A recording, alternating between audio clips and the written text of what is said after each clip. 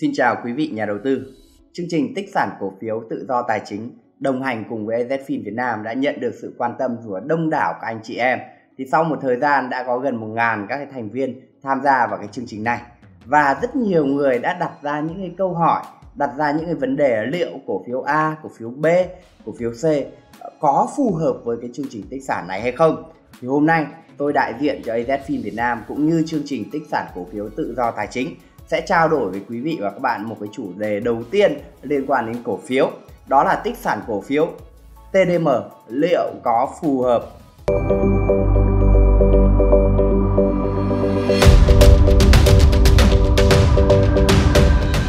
Thì nội dung trình bày của tôi hôm nay gồm có mấy phần như sau. Trước tiên, đó là mục tiêu của tích sản cổ phiếu tự do tài chính là gì? Thứ hai là mục tiêu à, tiêu chí lựa chọn tích sản cổ phiếu tự do tài chính là gì?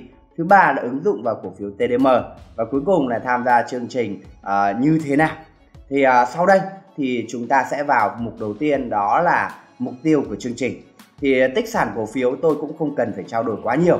Quý vị và các bạn cần tìm hiểu rõ hơn về các cái mục tiêu cụ thể thì hãy đến với các cái clip trước đó. Thì tích sản cổ phiếu để có nguồn thu nhập cao bền vững và an nhàn thì mục tiêu của tích sản cổ phiếu cũng không gì khác là tạo dựng lên cái kênh thu nhập bền vững và giúp chúng ta tự do tài chính trong tương lai, thậm chí truyền được đến cho các thế hệ sau. Và phần thứ hai, đó là các tiêu chí để lựa chọn tích sản cổ phiếu tự do tài chính là gì? Thì chúng tôi lựa chọn cổ phiếu dựa trên 3 tiêu chí chính. Đầu tiên là doanh nghiệp có lợi thế cạnh tranh bền vững. Thì khi chúng ta tích sản, tức là chúng ta đồng hành cùng doanh nghiệp rất lâu dài Thế do đó là cần phải chọn những cái doanh nghiệp có lợi thế cạnh tranh bền vững trong tương lai. Ít nhất là nó đã giữ được vị thế của mình hoặc là nó có thể tăng trưởng, nâng cao vị thế của mình, gia tăng lợi nhuận cho những nhà đầu tư nắm giữ. Thứ hai đó là quản trị công ty phải tương đối tốt bởi vì chỉ có quản trị công ty tốt thì lúc ý miếng bánh mới được chia đều cho cả các nhà đầu tư nhỏ như chúng ta.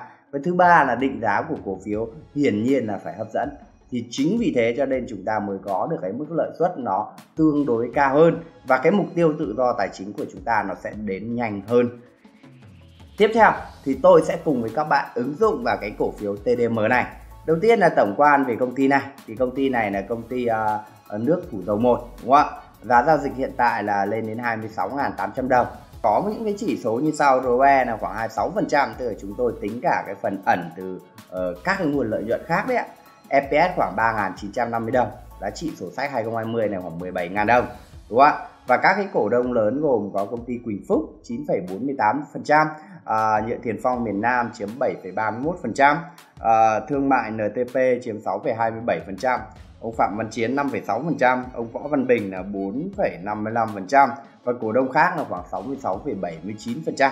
Và đây cũng có một cái biểu đồ về cái diễn biến của cái cổ phiếu TDM trong một năm vừa qua thì chúng ta có thể thấy hiện nay là mức giá là đã là khá là cao đúng không ạ? Cao kỷ lục trong một năm qua ờ, trong 52 tuần qua.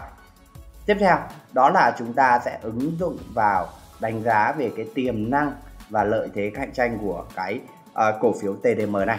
Thì Bình Dương là cái địa bàn mà TDM hoạt động. Thì đây là một trong những tỉnh có tốc độ đô thị hóa và thu hút FDI cao nhất Việt Nam. À, do đó tốc độ tăng trưởng tiêu thụ nước ở mức cao tăng có thể 10 đến 15% một năm trong 5 năm tới. Hai là giá bán nước cao khiến hiệu quả kinh doanh uh, cao nhất Việt Nam. Có thể nói là các doanh nghiệp nước ở Bình Dương này có hiệu quả cao nhất Việt Nam. Thì do là ở đây người ta bán nước chủ yếu rất nhiều cho các cái doanh nghiệp FDI đúng không ạ? Chúng ta có thể thấy rất nhiều các cái công ty về bất động sản khu nghiệp nổi tiếng ở nơi đây. Ví dụ như NTC đúng không ạ? vship đúng không ạ? Tân Bình và rất nhiều các khu công nghiệp khác nữa à, tiếp theo là cái do việc bán nước này đến với đó là các công ty tức là gọi là bán buôn đấy thì giá nó lại cao hơn so với giá bán lẻ. Đó có một đặc thù Việt Nam như thế. Rồi là tỷ lệ thất thoát thì nó cũng thấp hơn so với việc bán lẻ đến hộ gia đình. Thứ hai là cung cấp nước thì luôn không đủ cầu khiến cho các nhà máy dĩ an của TDM hoạt động tới 138,263% công suất năm 2019 cơ. Khách hàng của TDM thì có BWE là có vị thế độc quyền tại Bình Dương. Chính là công ty liên kết của TDM. Tức là TDM là cổ đông lớn nhất của công ty này với 38,5%. do đó TDM được đảm bảo đầu ra chắc chắn thứ tư là từ cái ngày 22 tháng 2 năm 2018 thì Ủy ban Nhân dân tỉnh Bình Dương đã ban hành quyết định số 04 2018 quyết định Ủy ban Nhân dân cho phép BWE tăng giá nước cho người dùng cuối cùng thêm 5% trong giai đoạn 2018 đến 2022 tức là trong 5 năm. Sau quyết định này thì TDM và BWE đã đạt được cái thỏa thuận để TDM bán giá cho BWE cũng cao hơn 5% mỗi năm. Đó thì đây chính là những cái tiềm năng và lợi thế rất là lớn TDM đang sở hữu cho mình. Và à, tiếp theo đó là tiềm năng tăng trưởng của công ty này thì sao? Hiện nay thì TDM đã khai thác được 25.000 mét khối trên công suất là 50.000 mét khối tại nhà máy nước Bào Vàng. Rồi khai thác được 138.263 ờ, mét khối trên cái công suất 100.000, tức là vượt 38,263% công suất đấy thì tương ứng với khai thác uh, được là tổng là 163.263 mét khối. Uh, trong đó thì công suất của Dĩ An 3 mới xây và đưa vào hoạt động khoảng 100 ngàn mét khối. Đó thì như vậy là tổng công suất thiết kế của công ty là 250 ngàn mét khối. Nhưng mà công suất thực tế hoạt động các nhà máy này hoàn toàn có thể đạt 300 ngàn mét khối. Và dư địa như vậy còn tăng trưởng 5 năm tới mỗi năm 10 15 phần trăm là rất lớn.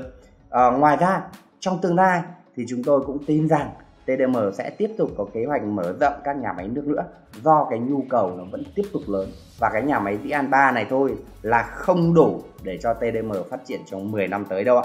Thứ hai là giá bán nước tăng 5% đến 2 hết 2022 như tôi vừa trình bày ở trên. Thì sau đó thì chúng tôi cho rằng vẫn có thể tăng loại 2 năm một lần 5%. Do đó thì lợi nhuận của TDM có thể tăng được từ 14 đến 20% một năm đến 2025. Thì uh, tỷ lệ bán nước cho doanh nghiệp uh, sẽ ngày càng lớn hơn. Tức là chúng ta có thể thấy là các ờ, khu công nghiệp ngày càng lấp nhiều doanh nghiệp hơn. Đúng không ạ? Số lượng người dân tăng thì không thể nhanh như vậy. Đúng không ạ? Do đây là cái vốn thu hút FDI ở Việt Nam chứ không chỉ là miền Nam đâu ạ. Và có thể giúp TDM tăng trưởng lợi nhuận cao hơn dự kiến rất nhiều.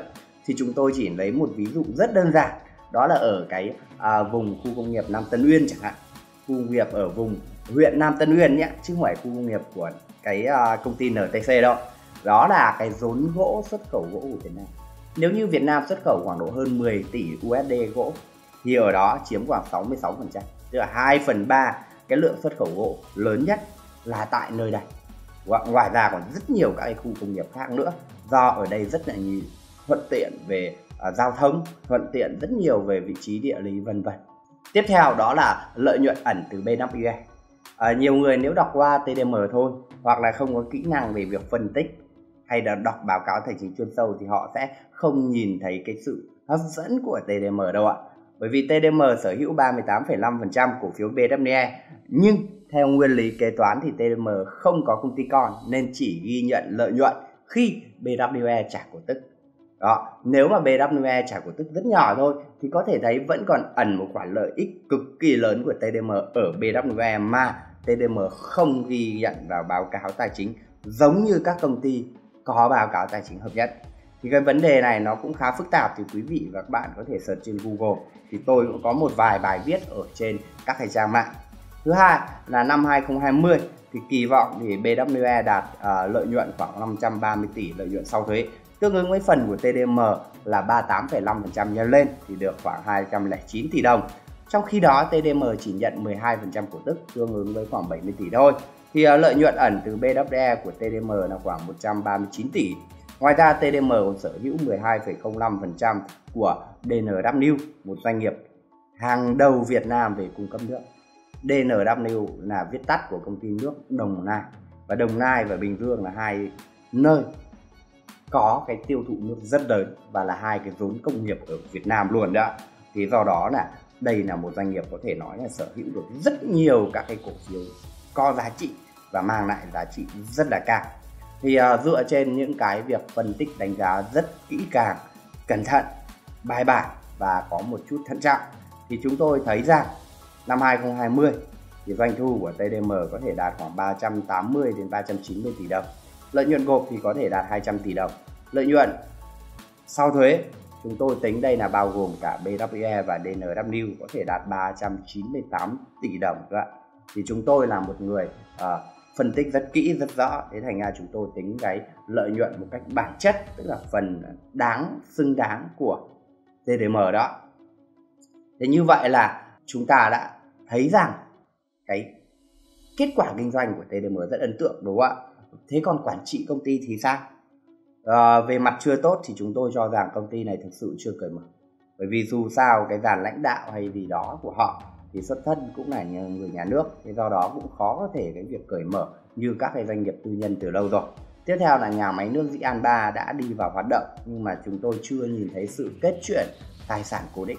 Tức là vẫn để ở tài sản rời ra thì chúng tôi vẫn có một cái câu hỏi về cái vấn đề này. Tiếp theo là lãnh đạo thì chưa thực sự thân thiện với các cái cổ đông bên ngoài. Điều này có thể thấy rất rõ qua cái việc là các cổ đông ngoại, họ liên tục thoái vốn sau một cái thời gian mua vào với giá cũng rất là cao đúng không ạ? Bởi vì có thể là họ cũng chưa được thực sự quan tâm à, tốt hơn. Cho dù doanh nghiệp này một doanh nghiệp rất là tốt về mặt kinh doanh. Thứ hai là về cái mặt tốt trong quản trị công ty. Đó là kế hoạch à, kinh doanh và cổ tức của công ty rất rõ ràng. Ví dụ như cổ tức năm 2020 thì họ kế hoạch là 1.200 2021 là 1.400 2022 1.600 và 2023 là 1.800 đồng. Chiến lược kinh doanh của công ty thì rất bài bản rất bài bản và rất gọn gàng. Và nhìn vào báo cáo kết quả kinh doanh và các cái báo cáo khác có thể thấy rằng công ty ghi nhận kết quả kinh doanh rất là chuẩn chỉnh khá là tốt. Thậm chí là gần đây thì công ty đã còn tăng khấu hao cơ để làm cho giảm cái gánh nặng thuế hiện tại, tức là làm lợi nhuận ngắn hạn có thể thấp hơn một chút, nhưng mà trong dài hạn thì sẽ được hưởng lợi rất tốt do cái việc khấu hao nó nhanh hơn. Thì chúng tôi đánh giá cái quản trị công ty này ở mức trung bình thực sự để mà đưa ra kết luận này thì chúng tôi cũng tốn một thời gian khoảng gần 3 năm qua nghiên cứu cổ phiếu này rất là kỹ càng. Thì chúng tôi cho rằng đây là ở mức trung bình khá. Còn trước đây thì chúng tôi không đánh giá về quản trị công ty sở dĩ uh, là như vậy bởi vì thời gian chưa đủ. Nhưng gần đây thì chúng tôi cũng có thêm chút thông tin và chúng tôi cho rằng nó ở mức trung bình khá. Tiếp theo đó là về định giá TDM liệu có hấp dẫn không? Thì chúng tôi cho rằng điều đó là rất hấp dẫn. Với PE bằng khoảng 6,7 lần tức là tính tất cả các lợi ích mà TDM sở hữu. Thứ hai là cổ tức của TDM cũng rất là cao 4,7% bằng tiền mặt. Thứ ba là tốc độ tăng trưởng trung bình 5 năm tới có thể đạt 16% một năm có thể nói là một mức tăng trưởng rất là cao đúng không ạ? Thì với ba tiêu chí trên thì thực sự đây là một cổ phiếu được định giá rất hấp dẫn như vậy có thể thấy rằng cổ phiếu TDM đã đáp ứng đủ được ba cái yêu cầu ở trên. Một là liên quan đến vấn đề, gọi là, lợi thế cạnh tranh và triển vọng kinh doanh bền vững. Thứ hai là liên quan đến quản trị công ty rất, cũng đánh được đánh giá là trung bình khá không phải xuất sắc nhưng mà trung bình khá thứ ba là liên quan đến định giá của cổ phiếu TDM thì lại rất hấp dẫn. Thì do đó chúng tôi cho rằng TDM xứng đáng là một cổ phiếu có thể mua vào cho cái chương trình tích sản cổ phiếu tự do tài chính trong 27 mã mà chúng tôi đã đưa ra tiếp theo à, chúng tôi đưa ra một cái ví dụ về lựa chọn đúng FPT tại AZFIN Việt Nam từ 2013 đấy ạ. Lợi nhuận từ việc tích sản cổ phiếu này mang lại cho chúng tôi rất lớn trong cái thời gian vừa qua gần 8 năm vừa qua. Quý vị và các bạn sẽ có thể lấy lợi nhuận gấp những khoảng độ 3 4 lần so với việc uh, cái chỉ số VN Index tức là um, chỉ số tăng trưởng chung của thị trường chứng khoán. Trung bình một năm khi chúng tôi đầu tư vào cổ phiếu này lợi suất nó lên đến hai mươi mấy phần trăm gần 30 phần trăm cơ là một cái mức lợi suất rất là cao. Thì trong tương lai có thể chúng ta không bằng như vậy nhưng mà cũng phải kỳ vọng một mức cái lợi nhuận khá tốt. À, tiếp theo là quý vị và các bạn có thể tham gia chương trình như thế nào? Thì à, quy chế cụ thể như sau. Mỗi người mỗi tháng đầu tư tối thiểu 2 triệu đồng không giới hạn tối đa. Hai là thời gian đóng tiền là từ mùng 5 đến 10 năm hàng tháng và mua cổ phiếu cũng trong thời gian này. Ba là khách hàng có thể lựa chọn cổ tối thiểu một cổ phiếu và tối đa là 5 cổ phiếu, tùy vào tiền của quý vị cũng như là chiến lược của quý vị. Và quý vị hãy tích sản những cổ phiếu đó trong suốt quá trình tích sản của mình. Thì danh sách cổ phiếu này được AZFIN hỗ trợ đưa ra dựa trên cơ sở phân tích đánh giá chuyên sâu như cổ phiếu TDM của cái đội ngũ rất giàu kinh nghiệm của chúng tôi. Thì chúng tôi up cái danh sách này ở trên cái cộng đồng đó. Khi quý vị tham gia cộng đồng, hiển nhiên quý vị vào đọc được những cái chương trình đó và quy chế rất cụ thể thứ tư là 3 tháng liên tiếp mà quý vị 3 tháng mà không tuân thủ thì chúng tôi sẽ mời ra khỏi cộng đồng và không hỗ trợ nữa.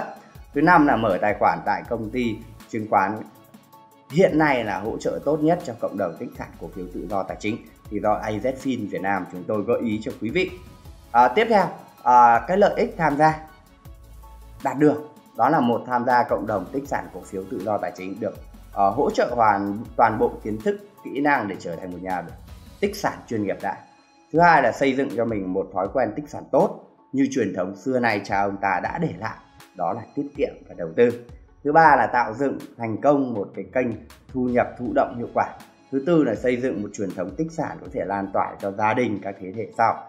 Thứ năm là có thể trở thành một chuyên gia đầu tư thực thụ, được xã hội công nhận và tôn trọng. Thứ sáu là có cơ hội trở thành đội ngũ giảng viên diễn giả, coaching chuyên nghiệp về tài chính, về tài chính cá nhân, tư vấn tài chính thậm chí là tư vấn đầu tư cổ phiếu.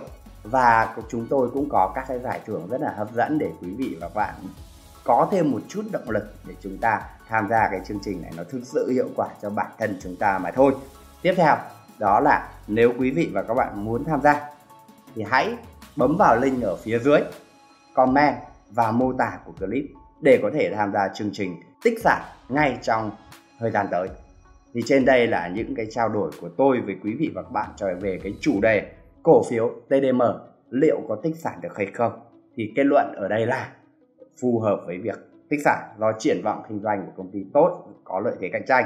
Thứ hai là uh, quản trị lãnh đạo của công ty ở mức uh, trung bình khá. Thứ ba là định giá của công ty rất là rẻ.